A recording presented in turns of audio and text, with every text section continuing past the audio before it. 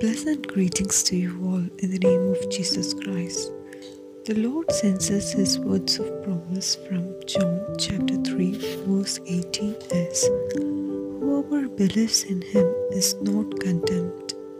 அவரை விசுவாசிக்கிறவன் ஆக்கினைக்குள்ளாக தீர்க்கப்படான் Let's pray. Dear Lord, we are sinners. We come to your feet each day to seek forgiveness.